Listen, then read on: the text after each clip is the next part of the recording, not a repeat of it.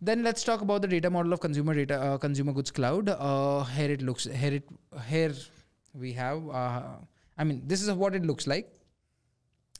At the bottom, we have platform capabilities, uh, and at the at the top layer we have the functional capabilities and at, at like at, at, the middle layer we have the functional capabilities and at the top we have different channels through which we can communicate or we can interact with our customers right? So all of these are clubbed together. So let's talk about the channels. Uh, there, are, there are in-store uh, there are in-store experiences uh, which you can capture through the different devices and everything from there or the uh, mobile phones that the sales reps are using. Or uh, i mean the the the data that is collecting onto every POS or everything uh, is, is also coming through that that channel. Then comes the online stores that you have created, the mobile platforms that you have, the social media platforms that you have, and all of those things are feeding in data into your consumer uh, consumer goods cloud.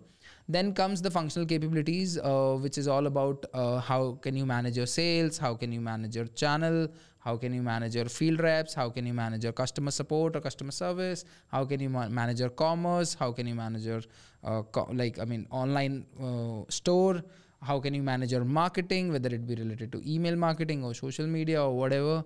How can you manage all of the journeys related to that? And how can you build communities for your partners and your for, and for your vendors to communicate together so that you can have a unified data uh, for all of your business? Then comes the platform capabilities. Uh, of course this is a purely natively built application or not an application but a cloud on uh, top of salesforce platform. So it has all of the platforms capability whether it be related to SO, ssot which is a single source of single truth. source of truth uh, for all of your identity management, identity management and everything, along with Einstein uh, capabilities.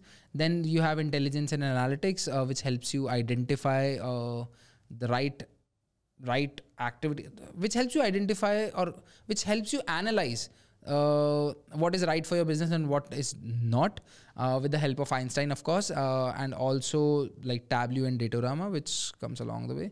Uh, then you can integrate it with different platforms, uh, either using the APIs or uh, using the or using MuleSoft.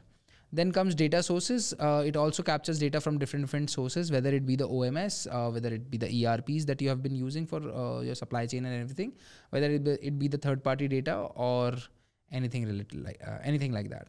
So this is exactly how the data, uh, the data model of Salesforce Consumer Goods Cloud looks like. So you can just capture a screenshot if you want to. Or download the PDF from the link. Better download the PDF yeah. so that you can uh, uh, you can get all of the data uh, hands on. Definitely.